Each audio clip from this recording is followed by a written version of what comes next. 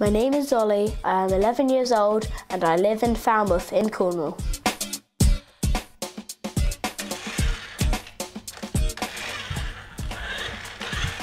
I love playing this new remote controlled car. But it doesn't just go by itself, it uses batteries, lots of them.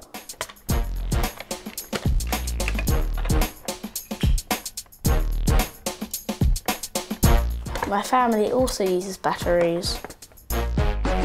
In this TV remote control, and more batteries and other different video games.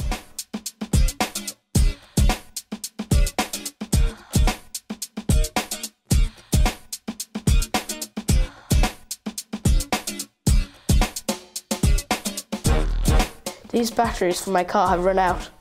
Up until now, I've always thrown my old batteries into the bin. But a new law will mean that these batteries will have a very different future. If batteries are just thrown away, chemicals could leak out into the ground and damage our environment. Also, the valuable materials they're made of are just wasted. But if we recycle batteries, we can use everything in them for something else, which saves a lot of energy.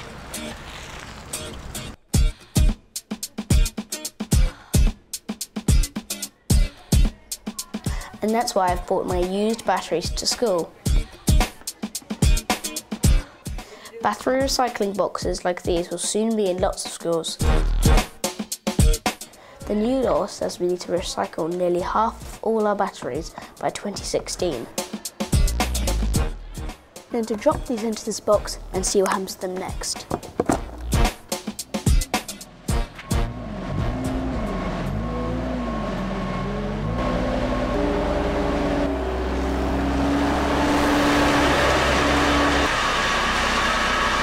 One week later, my AA batteries have ended up at this recycling plant in France. Here they sort the batteries according to what chemicals they are made of. Mine are then sent into a giant furnace set at 1000 degrees centigrade. This is where the valuable core of the battery is taken out in a complicated chemical process. My batteries had zinc in them, and this is what the zinc looks like after it's extracted. A mountain of valuable metal. This will be reused in all sorts of places like making new cars. And the old casing of the battery is also recycled. These will go to steel plants where they could end up in a new bike or be part of a new building, like a new school. So, could these little batteries be used for a new car or a new school? I guess it's up to us.